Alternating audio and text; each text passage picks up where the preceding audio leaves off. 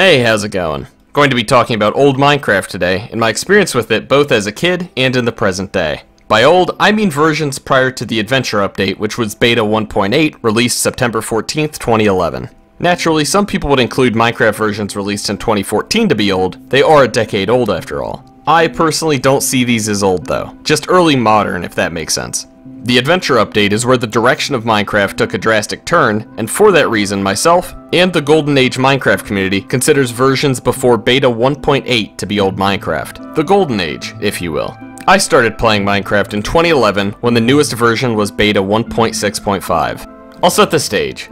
It is early June 2011. I'm 11 years old. My lifetime buddy Cameron comes over and sees me playing Blockland. He says there's another blocky game that I might enjoy, called Minecraft. So, I went online and messed with the old web-based Minecraft Classic, before deciding to get the full game. I ask my dad, who buys the full version of the game for me, at a cheaper price due to the game being in beta. I started up, and am immediately hooked. I still remember the feeling of wonder. Minecraft was the first game I played that was a survival sandbox, and it fascinated me. Minecraft then consumed my life for several months, and it quickly became my favorite game. Fast forward, the next major version, Beta 1.7, added pistons, shears, and a new cobblestone texture that, to this day, I think looks worse than the OG. But despite these versions of the game being well over a decade old, there is a surprisingly prominent community that still plays them. Minecraft before the Adventure Update had a simplicity to it that simply no longer exists today. I'll be going over that more later in the video and why I think old Minecraft is so special to so many people, including those who never played it back in the day. Also, unlike the case with Blockland, I still have most of my old beta worlds of Minecraft saved and will be showing them off. I also have, um, yeah, my old YouTube videos. These videos are close to 14 years old and are, uh, interesting, to say the least. Let's jump into that first, shall we? Alright, to start us off, let's get into some high tier cringe.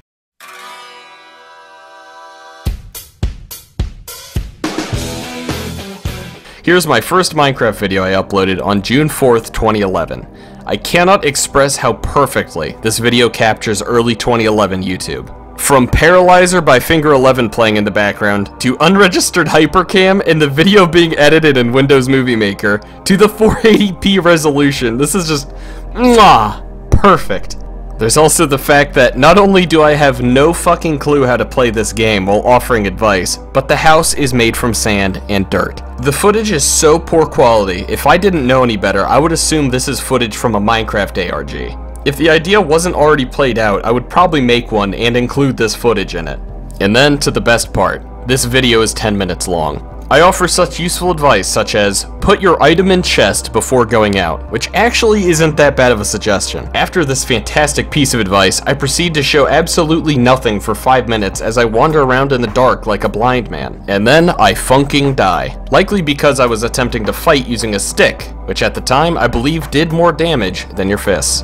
I offer the advice, never stop attacking even if you just have your fists. Advice that is applicable to all facets of life, including when you're dealing with police or the homeless. And then finally, I attempt to mine coal with a stick. And then I am surprised when no coal is yielded. Oh yeah, then the video finally abruptly ends while digging gravel with a pickaxe. The I have no words, this is the perfect Minecraft video. I'll be honest, this is one of the funniest fucking things I've ever seen, and it's me. It's me as an 11 year old doing dumb shit, and this is, this is fantastic. Now for a video that is slightly more comprehensible. Alright, here we have my magnum opus. Not a whole lot going on here, except the aforementioned zombie riding a minecart. The video quality is still hog shit, and I continue to speak in that early internet can I has Cheezburger speech. I would have thought I'd be cringing into oblivion rewatching this, but I have to say, it's fucking hilarious. I think my sense of humor has become too ironic, and now it's broken. Please send help. Next, in an M. Night Shyamalan level twist, we have a creeper riding a minecart. Absolutely crazy. I thought this world was lost, but I actually ended up finding it, and it's pretty neat. Crazily enough, before I privated this video a few years ago, it had 527 views. I've since unprivated it because it's a neat piece of history. Next, we have a video showing a private server me and my buddy from Poland had. He was the host, so I obviously no longer have this world. I can't remember what happened between us, but we haven't been in contact for close to a decade now. Hey Wakov, if you happen to watch this, hit me up dude. Regardless, this is the next five of my old Minecraft videos, just showing off stuff we built on the server. After those videos, we have one detailing a leak involving new blue spiders being added to the game. These, of course, were added in the next update in the form of cave spiders. Not much here, I just type in Notepad a bunch, which is fucking hilarious. I speak philosophical truths that rival the greatest minds in history. I was one wiki searching researching, then it brings a tear to my eye. Does Notch and Jeb just pump out ideas? Dude, I've got nothing. This is just funny as shit. I also show off the wiki page as it was, so you know it's real. A neat little piece of Minecraft history. But, that's the last of my old Minecraft videos on versions prior to the adventure update. There are a couple on the beta 1.8 pre-releases back when Enderman had green eyes and emitted smoke particles instead of purple particles. I'll link a playlist with these videos in the description if you want to watch them. The cringe is deadly, but it's pretty fucking funny. Alright, now onto the old worlds I have saved. Most of them have very little built on them, but specifically the ones I showed in the zombie and creeper and minecart videos, I actually spent a decent amount of time on. I'll have videos of me exploring these old worlds in the background for the next segment. One question that's frequently asked is, why would you play these old versions of Minecraft when modern Minecraft is so much better? Well, I would argue that modern Minecraft isn't necessarily better. It's just different. It's more technically impressive and has a shitload more content, but it isn't necessarily better. Of course nostalgia has a part to play, for me in particular, but there are a lot of players who never experienced these older versions back in the day, who enjoy them thoroughly today. Back in these versions, the game was just a lot simpler. There was no hunger bar to manage, no end boss, no enchanting, no potions, not even sprinting. Content bloat is a term I've heard used, and I think it's appropriate. For every awesome change made to Minecraft these days, like the new caves, the deep dark, and the new nether, there's an equal amount of stuff that just feels unnecessary to me. One good example of this is the whole diorite, andesite, and granite edition back in release 1.8. Yes, it's more building blocks to use and they look good, but it also clutters your inventory both when mining and when storing your haul. There's also the aspect of just how many real-world animals that have limited purpose have been added in the game. It's cool to see, I guess, but I personally would rather have fewer mobs with greater depth than loads of uninteresting mobs. I know it's just my personal preference and most players prefer the bloated amount of content, but I just think it could be better. These old versions of Minecraft were also less realistic. The grass in beta is a deep green hue instead of the more realistic shades in modern Minecraft, and in alpha it was fucking neon green. The terrain generation was also more wacky. Floating islands were relatively common, and the unusual terrain was all over the place. The newest versions of Minecraft are fixing this with the new massive mountains and intricate caves, but for well over a decade, the old versions had more interesting terrain, in my opinion. There was a lot less to find in old beta generation. No mine shafts or villages, but the fun in exploring was finding cool locations themselves. There's also the fact that old survival was more difficult. No, you couldn't starve to death, but overall the mobs posed a much more significant threat. There wasn't the power creep that has existed since enchantments were added, which was made even worse with the addition of netherite. The new warden enemy helps this somewhat, but that can only be found in one specific biome. In my RPG Loot and Monsters data pack, shameless plug, I tried to combat this by adding stronger monster variants, but that could only do so much. And of course, there were new items that made you stronger, which kinda reversed the difficulty spike. I also no longer work on it, at least not for now, so yeah, if you're looking for something that increases difficulty, you might want to look elsewhere or play on older versions of modern Minecraft. In the data pack though, there was a setting called Spectres, which were invisible mobs that were quick and strong that would kill you if you wandered outside your base's walls at night. This added a nice bit of difficulty and made night scary again. But overall, I just feel like modern Minecraft is in an uncomfortable place between being like an RPG with consistent enemy and player progression, and being like old Minecraft where regardless of your gear, nights were scary. And can I just say this? I fucking hate the hunger system in Minecraft. Yes, it's realistic to need food, but you needed food in previous versions to heal. It seems like in modern Minecraft, every 30 seconds I need to deep throat a pork chop to keep from dying, and it's incredibly annoying.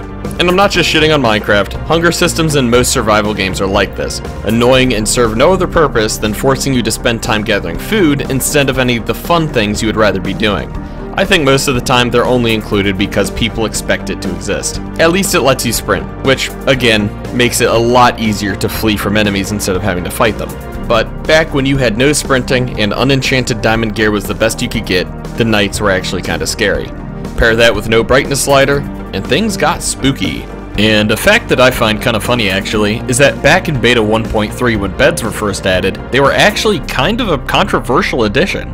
Now this isn't just because later phantoms would be added, which are horrible and should be erased from existence with nuclear flame, but because they let you skip the night and you can obtain them easily in the first day. This would of course just let you skip the night, which is the hard part of the game. And this was also made a little bit worse because shears weren't added until beta 1.7, so you would get the full yield of wool from sheep just by fucking punching them. Now, despite all that being said, I still play and enjoy modern Minecraft. But because I love this game, I want it to improve. One quality of life improvement that also gets rid of some of the bloat that I am not the first to think of is universal resource types. For example, instead of gathering andesite, diorite, cobblestone, etc., you gain stone, and you can then select what type of block you want to place with a single resource that is easily stackable and sortable. For the difficulty issue, maybe buffing monsters based on the gear level of players, kind of like 7 Days to Die does, there's a leveling system in the game, so it's not one-to-one, -one, but you should get the idea. What would be even, even more interesting is that slowly, more types of mobs start spawning. This of course would be dependent on player progress and the biome, so kinda like the Husk and Stray, but with more difficulty scaling. The Husk and Stray are cool and all, but it's just a normal zombie and skeleton that inflict a status effect when they attack you. How about fucking sandworms in the desert and giant spiders in the jungle? Stuff like that would be interesting to see. Will something like that ever happen? Probably not, Mojang would probably just put it up to a vote, and the community would vote to add a normal-sized earthworm instead of a giant spider or ice dragon or something. Can you tell I don't like the mob vote? But anyway, back to beta and how to play it these days. I played beta 1.6.6 on the Betacraft launcher for this video. Betacraft gets you the original beta jar as it was back then, instead of the old version jar files from the official Minecraft launcher. The official launcher gives you a version with the new sound effects, which is weird maybe for copyright reasons. Gameplay-wise, those versions seem identical to actual beta versions, but it still just doesn't feel right hearing the new door and bow sounds in beta. Either way, there's no wrong way to experience beta, but if you want the authentic experience, use Betacraft. Then we have something truly awesome. Better Than Adventure, abbreviated to BTA, is a modded version of Beta 1.7.3 you can run through the Multi-MC launcher. BTA is more of an alternate history version of Minecraft, where the hunger bar was never added and a lot of scrapped features actually made it into the game. And despite it being a modded beta version, it still has a lot of the modern quality of life features modern Minecraft has, such as an FOV slider and much more. It also has a lot of really interesting expanded features. It has four different damage types, and each set of armor protects against different types of damage. For example, iron armor protects equally against all types, and then you have leather, which protects mostly from falling damage. I think that's really fucking interesting, and adds a purpose for leather armor past day 2. It also has changing seasons, which is one of my favorite features. It has more expansive dungeons that have spike traps in them. Honestly, just a lot of really cool stuff. And one fascinating feature that kind of addresses the Beta 1.3 Beta Edition fiasco is that you need to kill zombies to be able to make a bed. You have to kill zombies to get cloth, which means you actually have to experience combat to be able to skip the night. Of course, Better Than Adventure is not finished yet, and they have a lot of planned features, including something I've been wanting to see since I was a kid.